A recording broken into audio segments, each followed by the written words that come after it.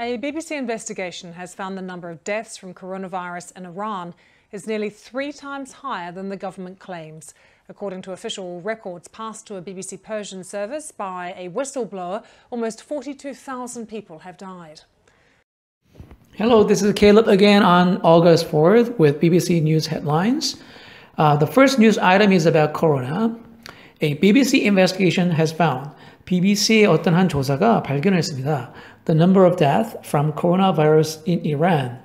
이란에서 코로나 바이러스로부터 사망한 사람들의 숫자가 is nearly three times higher than the government claims.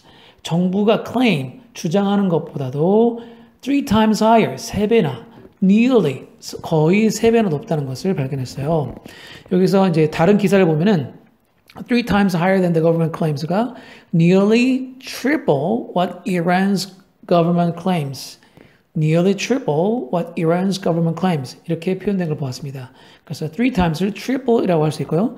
또 잘은 안 쓰지만 thrice라는 표현도 있습니다. thrice, T-H-R-I-C, once, twice랑 좀 연결된 표현이죠.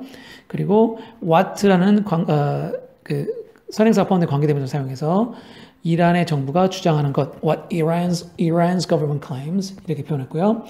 다음 문장, according to official records passed to a BBC Persian service by a whistleblower, uh, according to 따르면 official records 어, 공식적 기록에 따르면 그 다음에 과거분사로서 앞에 official records 수식하죠.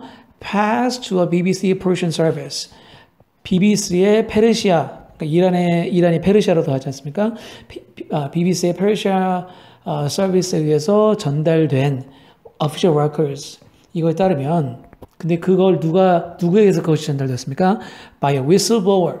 그래서 whistle은 휘파람이고 blow는 부, 부는 사람인데 내부 고발자 또는 익명의 신고자, 밀고자를 말합니다.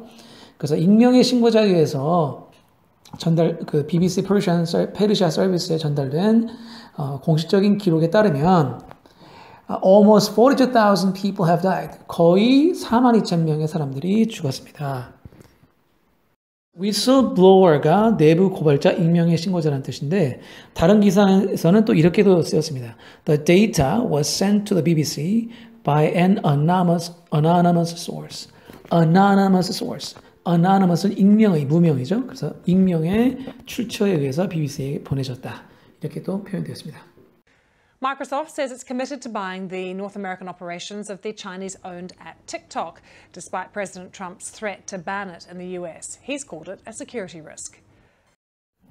Microsoft says, Microsoft는 말합니다. It's committed to, 어, 어디에 헌신되어 있다는 뜻이죠. be committed to, ing 하면 뭐뭐 하는데 전념하다, 뭐뭐 하는데 헌신하다. 아, 그래서 the North Amer- buying the North American operations of the Chinese owned app TikTok.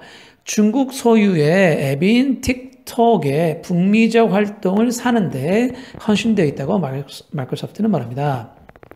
Despite President Trump's threat to ban it in the US, despite는 뭐뭐임에도, 뭐뭐임에도 불구하고죠.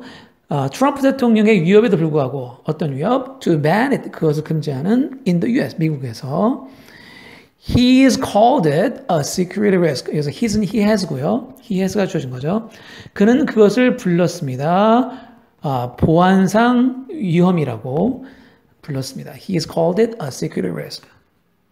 More than 300 prisoners have escaped a prison in the city of Jalalabad after a gun battle between security forces and Islamic State militants.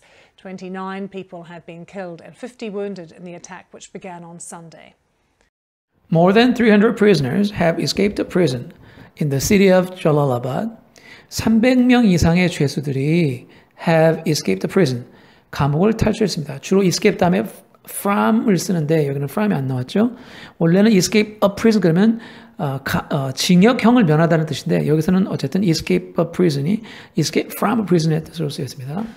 In the city of Jalalabad, Jalalabad 도시에서 after a gun battle 어떤 그 총 전투 이후에 between security forces and Islamic State militants 어떤 보안군과 Islamic State militants 그 이슬람 국가 무장 군인들과의 그 사이에서 29 people have been killed 29명의 사람이 죽임을 당했고 and 15 wounded in the attack 그 공격에서 아, 15명이 부상을 당했습니다. 그래서 15 wounded 사이는 have been이 생략됐죠. 앞에 29 people have been killed에서 have been이 있고 뒤에는 have been이 생략돼서 과거 분사만 wounded만 썼습니다.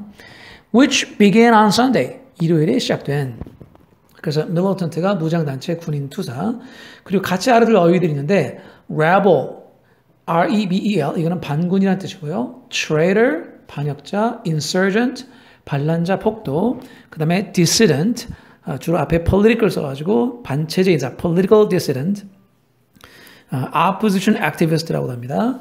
그 다음에 opposition party 야당 반대로 ruling party 여당이죠.